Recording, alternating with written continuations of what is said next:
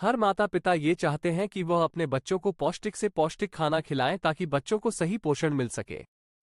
लेकिन आजकल के बच्चे खाने से ही जी चुराते हैं। खास तौर पर अगर उनके सामने खाने में दाल, चावल, रोटी रख दी जाए तब तो वो मुँह बनाने लगते हैं। आज के समय में बच्चों को खाना खिलाना किसी टास्क से काम नहीं है।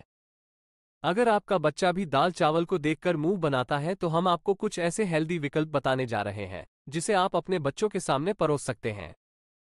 ये सभी दक्षिण भारत के ऐसे पकवान हैं जो खाने में बहुत स्वादिष्ट होते हैं और यह काफ़ी हेल्दी भी होते हैं।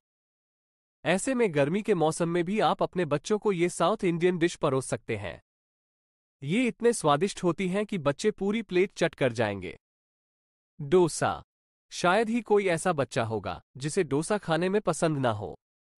आप चाहें तो डोसा बनाकर इसे चटनी के साथ परोस सकते हैं। इसमें किसी प्रकार के मसाले नहीं होते।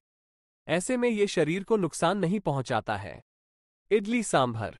अपने बच्चे को आप इडली सांभर भी बनाकर खिला सकते हैं। बहुत से बच्चे सांभर खाना पसंद नहीं करते हैं। ऐसे में आप उन्हें इडली फ्राई करके भी परोस सकते हैं। फ्राइड इडली तो बच्चे खा ही लेते हैं। अप्पे। ये देखने में काफ़ी क्यूट होते हैं। इसलिए बच्चे इसे काफ़ी चाव से खाते हैं। अप्पे सूजी से बनते हैं। आप इंस्टेंट अप्पे बनाकर भी अपने बच्चे को परोस सकती हैं। बच्चे इसे टोमेटो कैचअप के साथ खाना भी पसंद करते हैं। पोंगल।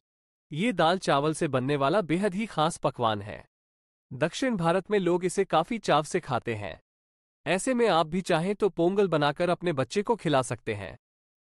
उत्तपम। ये चीले की तरह से बनता है, लेकिन इसका स्वाद बच्चों को पसंद आता है। नारियल की चटनी के साथ अपने बच्चे को उत्तपम बनाकर परोसे।